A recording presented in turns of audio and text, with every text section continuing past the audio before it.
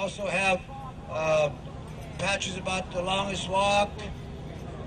Again, uh, this is how we're going to raise monies to get back. We're not going to ask Congress. We're not going to ask the White House or any agency or any grant money at all. We're going to we're going to go back the way we came uh, by the goodness of the people. And I want to say that um, the people out there were very generous, very extremely generous. Uh, we'd arrive sometimes late at night, and they would have been waiting for us six, seven hours, but they did wait. And they provided us with food, lots of food. And then as we began to cross the country, truck drivers were stopping, people were stopping and offering us cases and cases of water.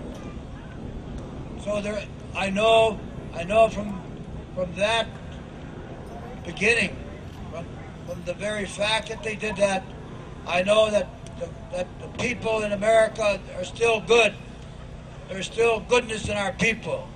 No matter what this government does, what they commit themselves to do, engaging us in this war or that war, or, there are still some good people in this country. We crossed 35 native reservations, 35 people, I mean 35 reservations from California, Arizona, New Mexico, Oklahoma, uh, Louisiana, uh, also in, um, they're, we, they're, they're not state, federal recognized, but state recognized in Alabama, uh, also in uh, North Carolina, Virginia. We met people who are doctors, physicians, lawyers, congressmen, mayors, governors. It was a great walk.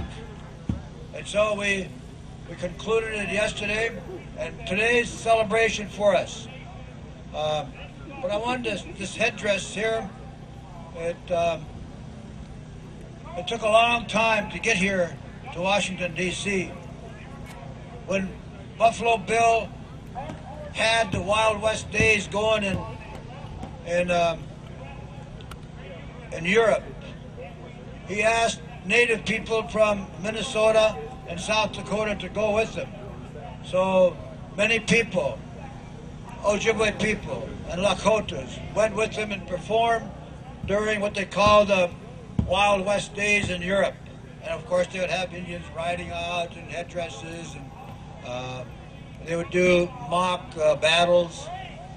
But one of the Ojibwe warriors went over there. They asked people to bring their traditional dress, and my great great grandfather was one of them that went over there, and he passed away uh, in uh, in Europe, and uh, but they somehow the body came back, but all his belongings, and then in January of last year, a friend of mine was going through an antique shop and saw this in a glass encasement, and written in it was from the Ojibwe, Ojibwe warrior Baganagizik. So I have it. He saw it.